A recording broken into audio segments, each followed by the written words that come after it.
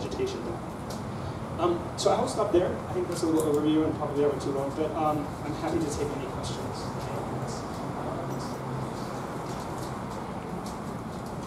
I'm also happy to uh, take a book. Any monstrous questions? Yes. Most hard in a good way? Horrifying? I, yeah, um, yes, okay. I would say that the most horrifying building is the Park Royal Pickering Hotel on Pickering. you know, which I think is, um, it's, it's really amazing. Uh, it's like the Hanging Gardens of Babylon, right? But one of the things I love about WOHA is their total inability to put down their pencil. Like they draw until there's no budget left and no space left. And every single thing, it's got dripping flowers or a feature wall. And it, it, does everything to kind of break down the building as a singular object, which of course they're doing very intentionally because Richard has an obsession with architecture that's just a byproduct of codes, right? I mean, what's very interesting about that is we, we have this massively over-regulated architecture industry in Singapore. And they basically say, give us all the regulations, and we'll just throw them onto the site, and we'll see what kind of a building gets generated. It's a very interesting, kind of cynical, very cool approach. And then, after doing that, they kind of cover everything with this intensive vegetation, which is, I think, kind of a an, an amazing, as an urban object, I think it's really incredible. Also, the fact that so much of what's important about it is actually raised off of the street in a very kind of anti-urban way is very interesting as well. So I put my money on that. Though we have others. Yeah, we have our share of cool buildings.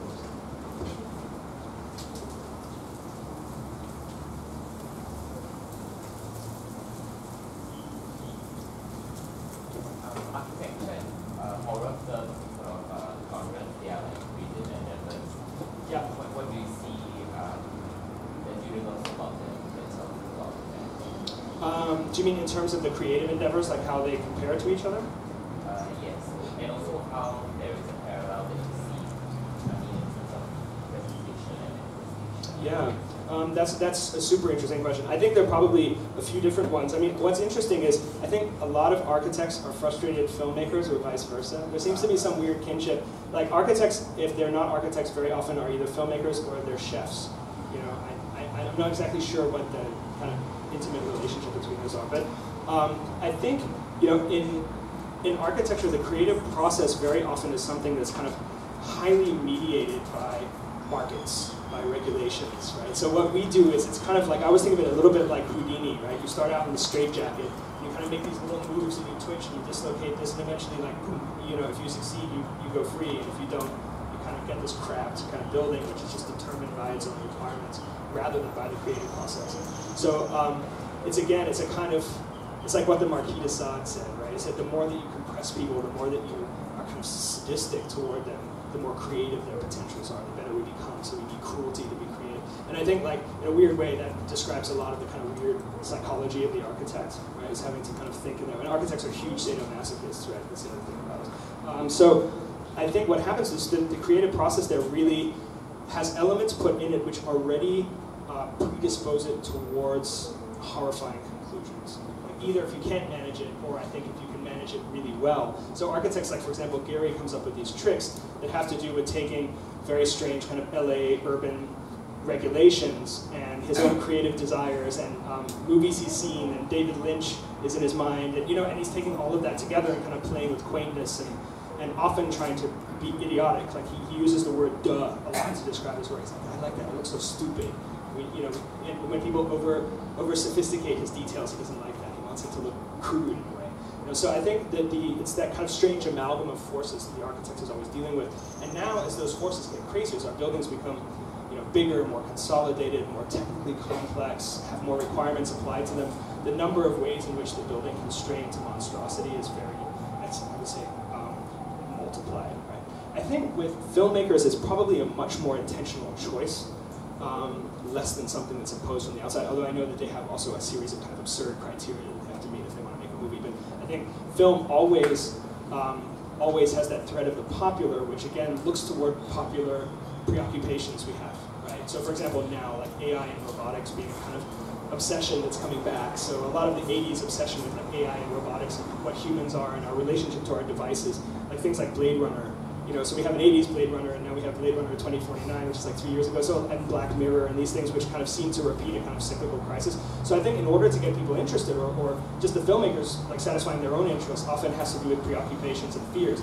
Monsters are a fantastic channel uh, to kind of express a lot of those, right? When we want to look at problems with technology, we have androids, we have cyborgs, we have hybrids, we have, you know, there's, there's a kind of a ready vocabulary. And I think whenever we have kind of mindless consumption, zombies come back back. You know, I mean, the ones that were made in the 60s and 70s all took place in shopping malls. Like all of those Argento films, they're all like the big scene is always in the shopping mall. And they would often have these scenes where you'd see kind of people lurching through in the beginning and, and you think they were zombies because you're in a zombie movie and they're just mindless consumers like walking past like Radio Shack and the Gap You know? So I, I think in a way they probably come from different places, but the sense of kind of having to channel a kind of a, a zeitgeist or a series of kind of paranoias into a product that then people want to kind of use to think about their lives is probably the common thread. Thanks for the very fascinating presentation. I'm just wondering, uh, it seems from the presentation that every single building has the potential to be read through the lens of being horrifying. Yeah. Uh, and I'm just wondering the converse question to what is the most horrifying building in Singapore is what is the most non-horrifying building in Singapore? That's a really interesting question. Um, it's the most non-horrifying. You know, I think the thing is like, that, okay, so there's a, there's a fantastic Cameroonian philosopher named Achille Mbembe who um, has taken over uh, Jacques, the chair that was occupied by Jacques Derrida in California, as a theorist. And he talks about a lot about the post-colony. And he says that the thing about post-colonies is the colonial situation is always monstrous. You know, he, I forget how he says it, because he, he, writes incredibly beautifully, so I won't bastardize his text. But basically he says, you know, it's always under the sign of like miscegenations and, and, and forced compromises and, and, and, and kind of sadistic actions and violence. It's like there's all of the ingredients of the monstrous are there, and that the colony can never escape the monstrous, right? And so if we think about like what's probably the thing that offends people the least, shop houses. Shop houses are monstrous as fuck. Have you ever looked at this like the, ornament on the front of a shop house? Like it doesn't work at all. It's like somebody who just seen a classical building and just decided kind of drew it out. But the thing about it is that it sort of starts to develop its own language, its own ornamental codes, becomes very beautiful, but not because it doesn't have this kind of like awkward history of kind of like throwing together, first of all, the shop and the house, which is like a kind of it's awkward, right? And now they're very awkward because the URA came in and said, oh no, we can't have people living and selling in the same place. We have to be modern and differentiate functions into different sections, right? So now they're kind of ad agencies in shops or ad agencies in restaurants. So it has a kind of a micro retail kind of sense of it. So it has all kinds of weird instabilities. But I think because we see it as kind of ornamental and charming, that's the kind of the colonial history becomes and desirable and touristic, right? When actually those are super monstrous, really. The ones I find least monstrous are your probably typical like um, 60s, 70s like HDB units, which to me have so much kind of rationality and so much clarity to them. And they're, they're, such, they're kind of like, I mean, to the architect, they're like these libidinal objects, right? We never get to design anything that's as, as tough as that, right? Now, it doesn't exist anymore. So something about those to me are very, very comforting, very normalizing. Um, I, I do a lot of like, big part of our office is doing kind of social research in various estates, and like we always find the kind of something about the logic of them quite quite comforting. But I think by American standards, they're probably terrifying. They break through that whole individualist kind of idea that we like to cherish. So probably for Americans, there's nothing in Singapore. Maybe maybe big malls. We're very comfortable with big malls.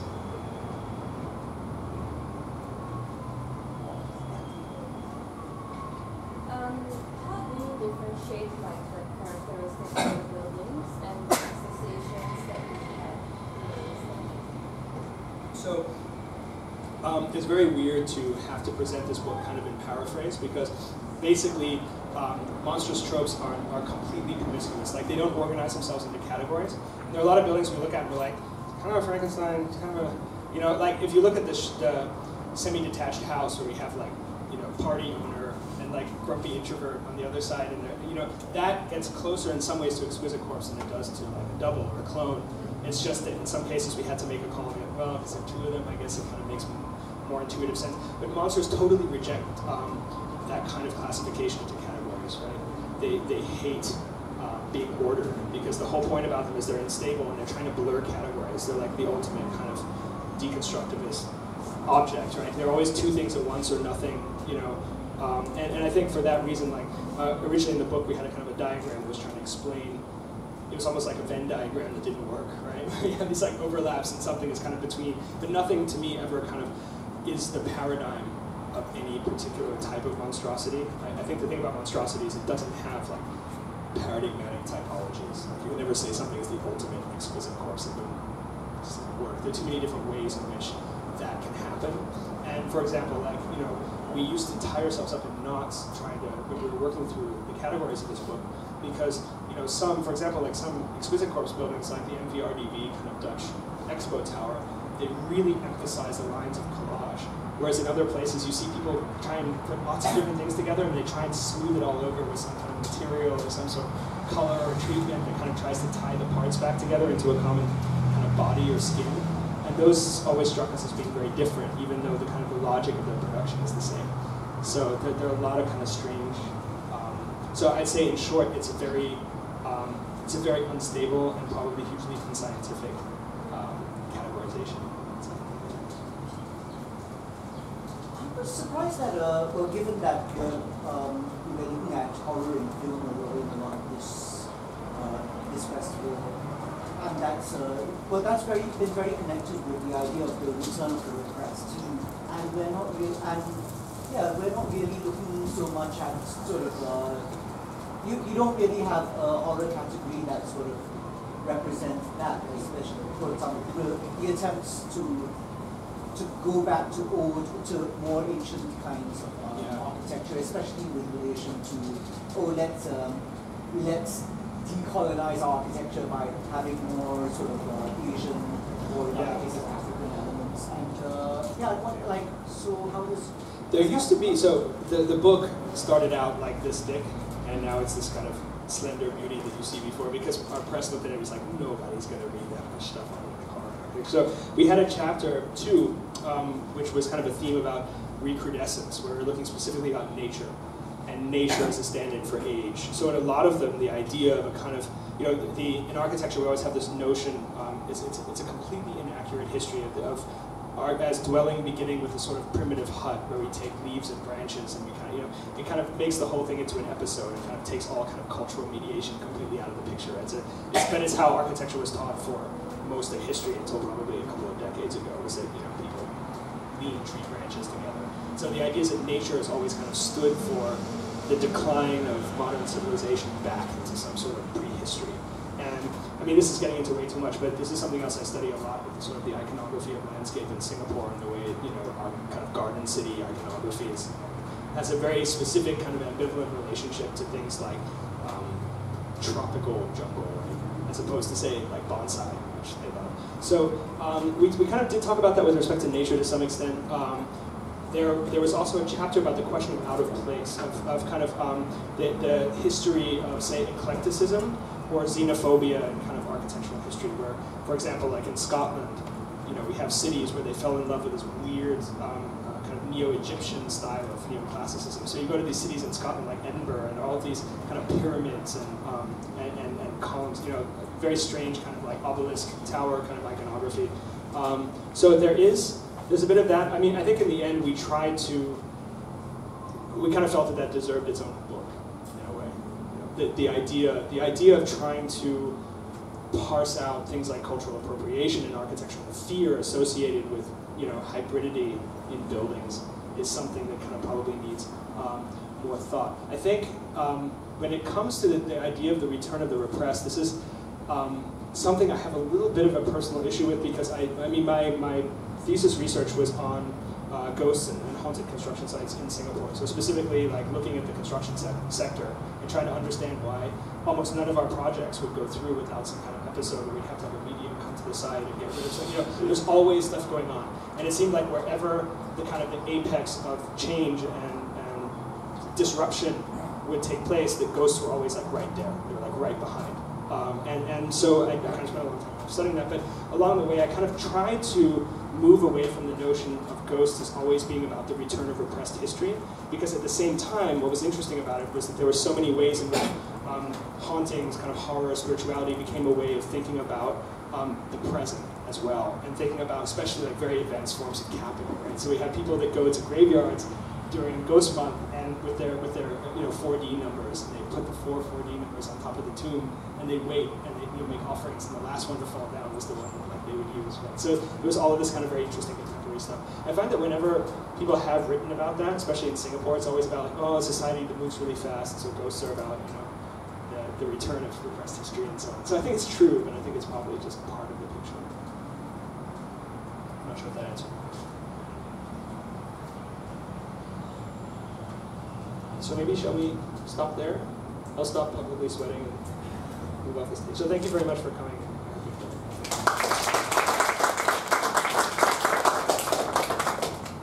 Yeah, thanks everyone for coming down and um, thank you Joshua for that great presentation. Um, you can actually check out Lekker's artwork in Block 2 Level 2 and Lekker Architects also designed the film history exhibition at NLB Plaza so do check it out as well. Um, we have a few programs happening next weekend so do visit our website, seomotion.sg, to register for me. Thank you.